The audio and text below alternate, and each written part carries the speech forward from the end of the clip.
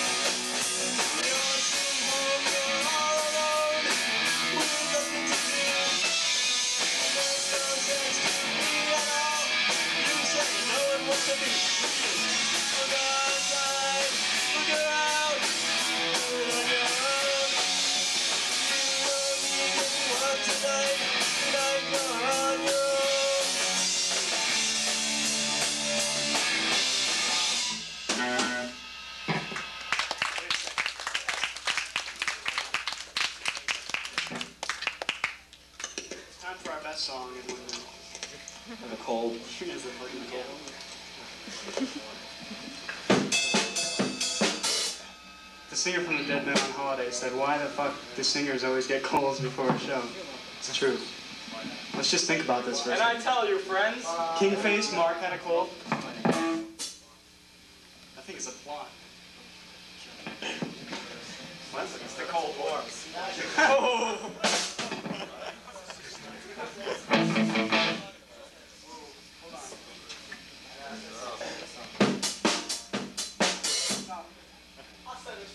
I,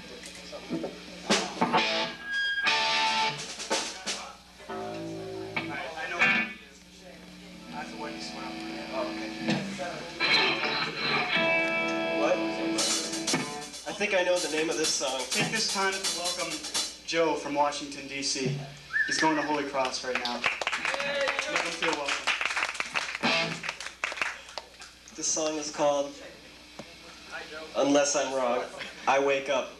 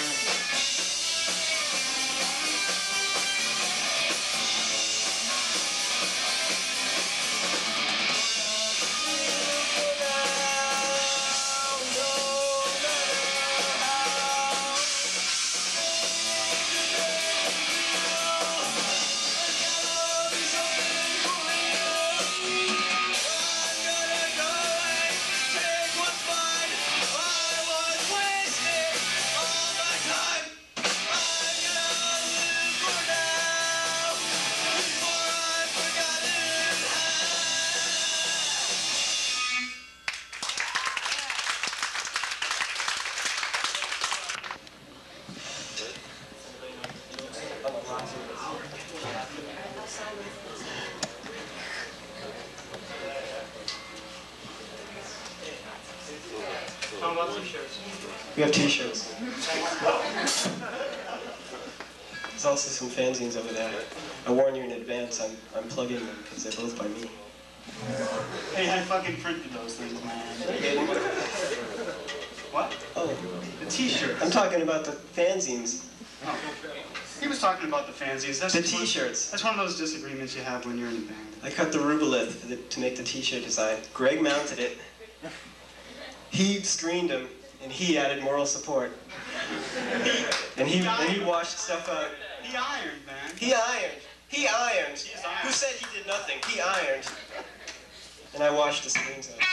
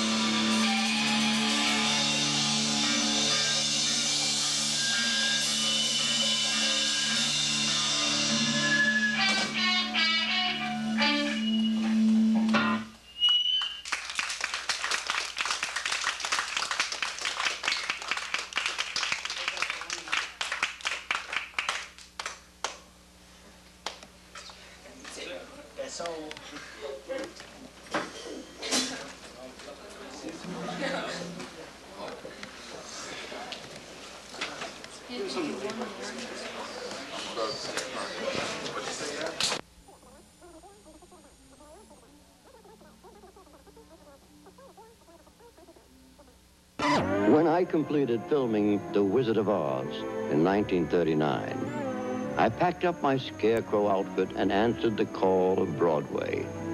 I was lucky enough to bounce from one hit show to another, so I became only an occasional visitor to Hollywood. I dropped in on MGM during the mid-40s to co-star with the then grown-up Judy Garland in The Harvey Girls. What a joy that experience was. But the changes I saw on my return here were astonishing. MGM had assembled more creative musical artists at this studio than anywhere else at any other time. The top musical directors, producers, writers, composers, choreographers, conductors,